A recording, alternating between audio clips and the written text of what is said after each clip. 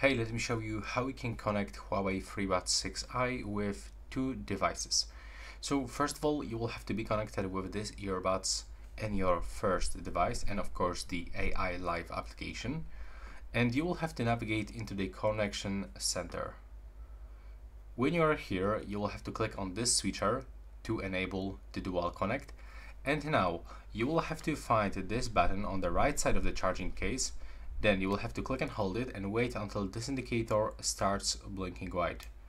Now you will have to release and keep that case open with the both button side. Then open Bluetooth settings on your second device. And from the list, select your Huawei FreeBuds 6i. Accept the pairing. And after a few seconds, you will be connected on the both devices. And as you can see right now, uh, we are here. So now if I want to, for example, disconnect my earbuds from this phone, I can just click on them and select disconnect. If I want to connect them, I have to just choose my device. As you can see, that's like super simple and really useful. So that's all for this video. Right now, please subscribe.